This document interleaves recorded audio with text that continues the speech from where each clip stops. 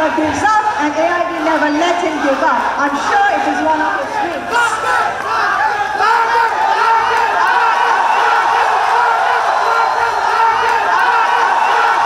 তো আমি খুবই নার্ভাস এমন মনে হচ্ছে যেন টেস্ট ম্যাচে যখন ডেবিউ হয়েছিল ক্যাপটা যখন পেয়েছিলাম ঠিক সেই ফিলিংস আমার আজকে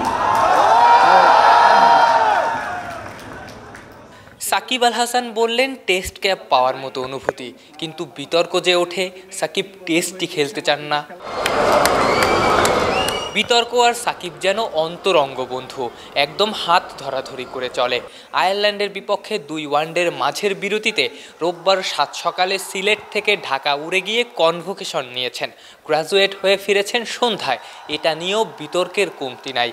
অনেকে বলছেন, ম্যাচের আগে কেন এত ঝক্কি নেওয়া?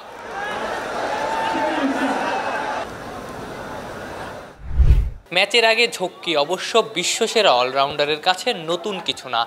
যেমন নতুন না, বিতর্ক। দিন দশেক আগে আর একটা বিতর্ক তৈরি হয়েছিল। একটা ফ্যাশন ব্র্যান্ডের শোরুম উদ্বোধন করতে গিয়ে ক্যাব চুরি করতে চাওয়া ভক্তকে রীতিমতো সেই ক্যাব দিয়েই পিটিয়েছিলেন।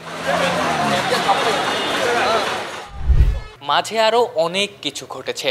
তিনশো ওয়ানডে উইকেটের সম্মাননা ক্রেস্ট দিতে চেয়েছিল বিসিবি সাকিব নেননি।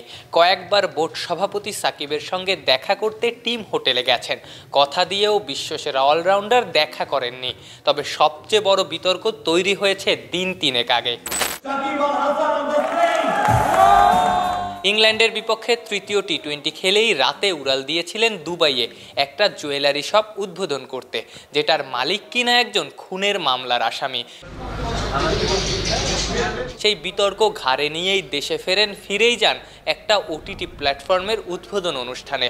পরে দলের সঙ্গে সিলেট যোগ দিয়ে সবার আগে প্র্যাকটিসে ম্যাচের পারফরমেন্সেও দলের সবার উপরে সাকিব। প্রথম ওয়ানডেতে হায়েস্ট রান করার সঙ্গে একটা উইকেটও নিয়েছেন আর সব বিতর্ক এক ঝটকায় উড়িয়ে দিয়েছেন।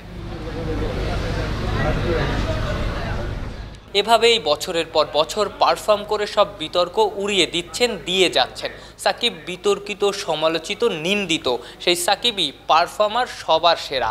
আপনি কোন সাকিবকে আইডল আইকন মানবেন, সেটা আপনার নিজস্ব সিদ্ধান্ত।